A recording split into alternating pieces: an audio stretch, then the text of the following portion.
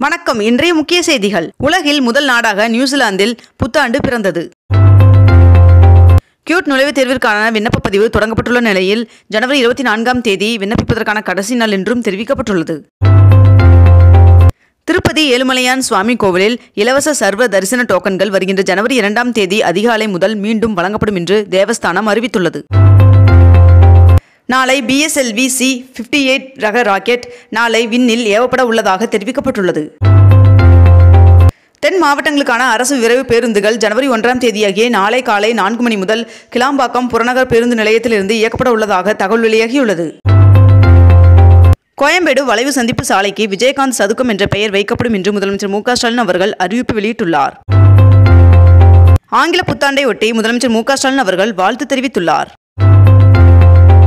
பொங்கல் பண்டிகையை முன்னிட்டு புதுச்சேரியில் சிவப்பு ரேஷன் அட்டைதாரர்கள் அனைவருக்கும் ஆயிரம் ரூபாய் வழங்கப்படும் என்று புதுச்சேரி அரசு அறிவித்துள்ளது.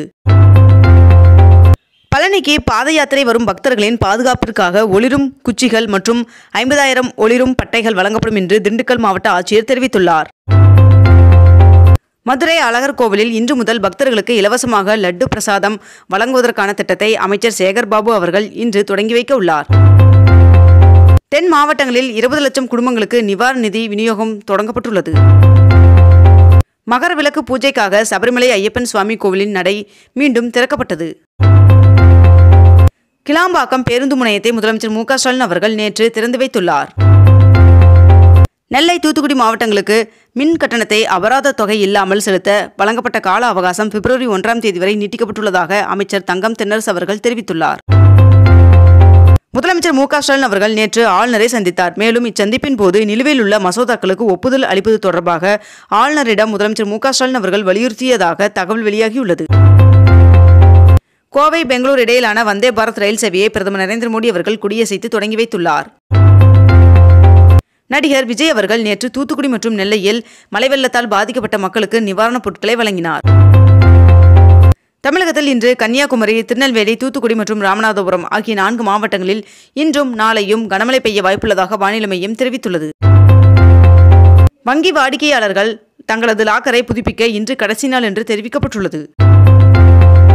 தென் மாவட்டங்களுக்கு இயக்கப்படும் எஸ்சிடிசி பேருந்துகள் இனி கிளாம்பாக்கத்தில் இருந்தே புறப்படும் என்று போக்குவரத்துறை அமைச்சர் சிவசங்கர் அவர்கள் தெரிவித்துள்ளார். இன்று இரவு ஏழு மணி முதல் நாளை காலை ஆறு மணி வரை புத்தாண்டு கொண்டாட்டங்களுக்கு மெரினா கடற்கரை உட்பட சாலை மூடப்படும் என்று தெரிவிக்கப்பட்டுள்ளது. நெல்லை மாவட்டத்தில் பள்ளி மாணவர்களுக்கான அரையாண்டு தேர்விற்கான தேதிகள் அறிவிக்கப்பட்டுள்ளது. அயோத்தியில் ஆயிரத்தி நானூற்றி ஐம்பது கோடி ரூபாய் மதிப்பீட்டில் பிரம்மாண்டமாக கட்டப்பட்டுள்ள விமான நிலையத்தை பிரதமர் நரேந்திர மோடி அவர்கள் மக்கள் பயன்பாட்டிற்காக திறந்து வைத்துள்ளார். அயோத்தியில் ரயில் நிலையத்தை பிரதமர் நரேந்திர மோடி அவர்கள் நேற்று திறந்து வைத்துள்ளார். புத்தாண்டை ஒட்டி சென்னை மெரினாவில் இன்று இரவு எட்டு மணிக்கு மேல் வாகனங்கள் செல்ல தடை விதிக்கப்படுவதாக சென்னை காவல்துறை அறிவித்துள்ளது. ரெண்டாயிரத்தி இருபத்தி நான்காம் ஆண்டிற்கான தமிழ்நாட்டின் முதல் ஜல்லிக்கட்டு போட்டி வருகின்ற ஜனவரி ஆறாம் தேதி புதுக்கோட்டை மாவட்டம் தச்சங்குறிச்சி கிராமத்தில் விமர்சையாக நடைபெற உள்ளதாக தெரிவிக்கப்பட்டுள்ளது.